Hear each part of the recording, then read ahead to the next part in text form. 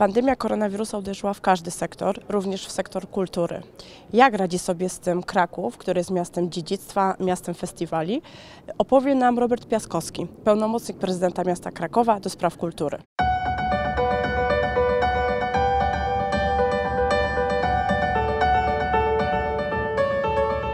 Robercie, jak sobie radzicie z tą bardzo ciężką sytuacją? Choć większość naszych instytucji kultury, teatry, y, kina, muzea, galerie są zamknięte, choć y, właściwie wszystkie festiwale wiemy, że w tym roku nie odbędą się w zaplanowanej formie, to jednak imponujące jest to, jak instytucje kultury odpowiedziały na tę sytuację, y, budując więzi ze swoją publicznością, produkując materiały audiowizualne, organizując warsztaty, spektakle, pokazując właściwie to wszystko, co w poprzednich latach zostało wytworzone. I niemal każda instytucja coś ważnego proponuje. Ta cyfrowa aktywność naszej instytucji, ta potrzeba bycia w kontakcie, ta potrzeba budowania więzi z publicznością, podtrzymywania ma, jakiś niebywały socjologiczny, psychologiczny również wymiar. W naszym mieście żyje, tworzy kilkanaście na tysięcy przedstawicieli sektora kreatywnego, a blisko 6 tysięcy ludzi to organizatorzy różnych wydarzeń, festiwali, pracownicy instytucji, organizacji pozarządowych.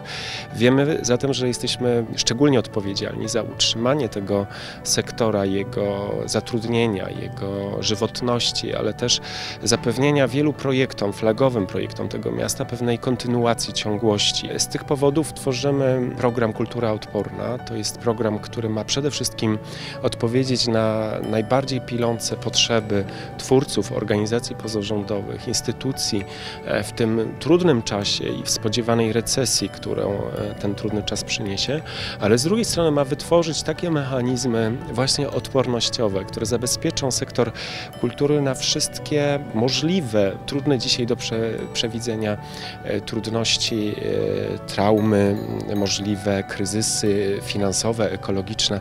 To oczywiście brzmi bardzo optymistycznie, ale ja wierzę, że ten okres jest takim czasem ponownego poukładania niektórych rzeczy i przede wszystkim takiej ponadbranżowej solidarności, która jest nam szczególnie dzisiaj potrzebna. Myślę, że to jest najważniejsze, żebyśmy w tej tęsknocie do bycia razem, nie tylko za pośrednictwem internetu, ale także za pośrednictwem takiej pogłębionej refleksji o, o tym, co wytworzyliśmy i jak bogata jest oferta kulturalna naszego miasta, no byli gotowi na otwarcie naszych domów, instytucji i działalność naszych e, organizacji kulturalnych.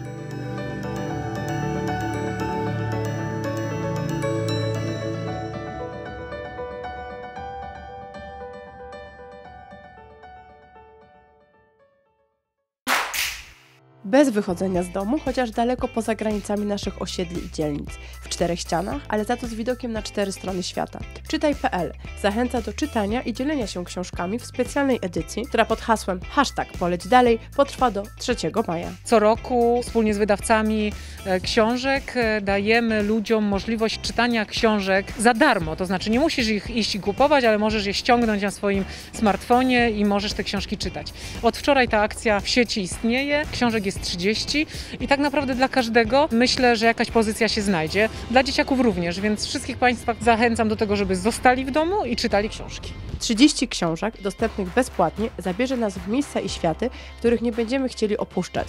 Krakowskie Biuro Festiwalowe, operator programu Kraków, Miasto Literatury UNESCO i platforma Woblink po raz kolejny oferują szeroki wybór książek, które w akcji czytaj.pl będą bezpłatnie dostępne dla wszystkich czytelników i czytelniczek. Czytaj i poleć dalej.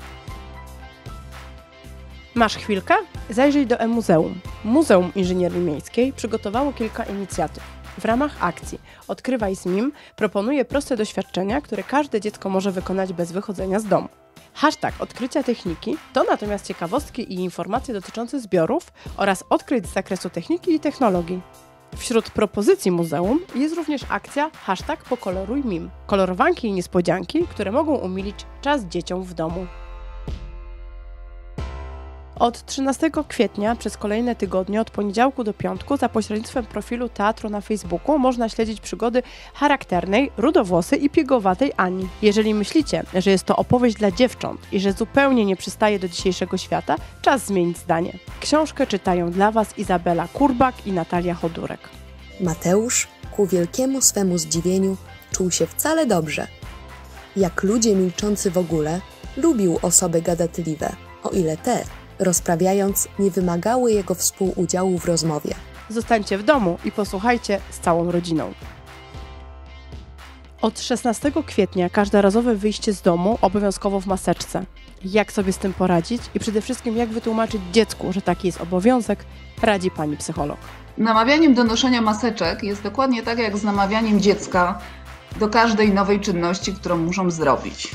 Jest taki schemat, jak namawiamy dziecko do współpracy. I pierwszą taką rzeczą, która jest istotna, to musimy dziecku powiedzieć, czego od niego chcemy, czyli skonkretyzować e, dokładnie, chcemy, żebyś założył maseczkę. Dobrze jest, żebyśmy te rzeczy e, związane z noszeniem maseczki omówili sobie trochę wcześniej niż na minutę przed wyjściem. Drugą taką rzeczą jest wyjaśnienie przyczyny. 4, 5, 6, 7-latek i, i te dzieci starsze są już w stanie zrozumieć e, przyczyny e, tego, dlaczego te maseczki musimy nosić. I tutaj kolejnym punktem, takim bardzo istotnym w wypracowywaniu sobie współpracy z dzieckiem, e, to jest danie dziecku wyboru.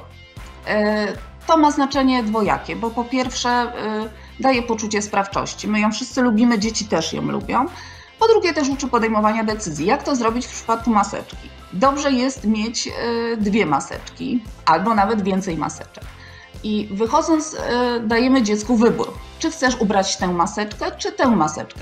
W ten sposób, w sposób niejako oczywisty, mówimy dziecku: wychodzimy w maseczce, ale ty masz wybór w jakiej.